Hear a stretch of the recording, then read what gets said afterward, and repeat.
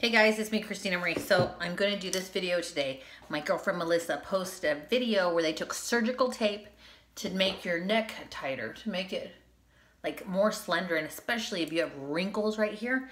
And I thought, who the heck is to go get surgical tape? I'm not spending money on surgical tape. I'm to try this like an old school way. So what I got is my duct tape. Let's see if this actually works. I'm gonna pull off a piece of this duct tape. Mind you, I don't have wrinkles, so this would be really good for someone to try if they have wrinkles. I'm gonna put it on this side of my neck. Make sure that it's nice and down. Stuck to my skin. Then I'm gonna pull this over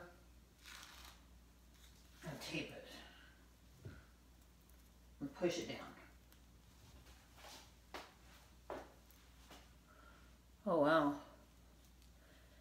I think because I'm a little oily right there, the tape wants to come up, but I'll pick up this.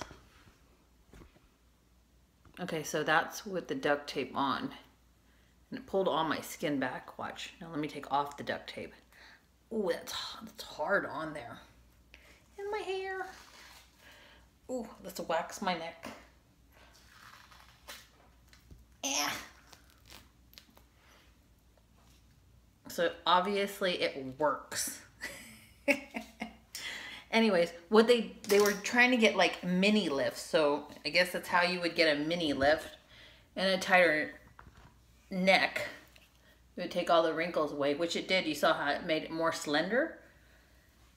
It kind of it's uncomfortable in the back, but hey, if it's better than spending how many thousands on a mini facelift, neck lift, might as well try it. Obviously, I would get duct tape that matched your skin and not this, but I give this technique a thumbs up if you can stand something like that being so tight in the back of your neck. I'm Christina Marie.